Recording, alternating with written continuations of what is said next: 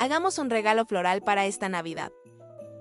Utilizando glue, tierra de macetas, malla de gallinero, piñas, musgo y esferas pequeñas, así como varias suculentas, una caja de madera, una bolsa de plástico adhesivo en frío, brochetas y flora tape. Y sprays Design Master rojos, verdes y glitter.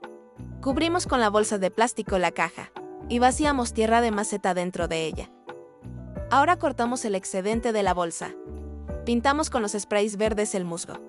Primero un color intenso y después un traslúcido.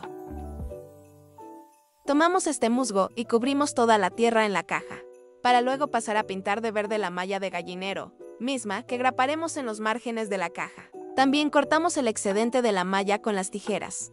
Luego retiramos la tierra de nuestras suculentas hasta dejar la pura raíz. Con una brocheta hacemos un hoyo, luego aplicamos adhesivo en frío en la suculenta para pegarla de forma segura al musgo. Pintamos de guindo y rojo algunas de estas suculentas para conseguir un toque más navideño y las integramos bajo el mismo procedimiento. Ya va tomando forma este diseño. Vamos a integrar algunas esferas como decoración, así como piñas naturales.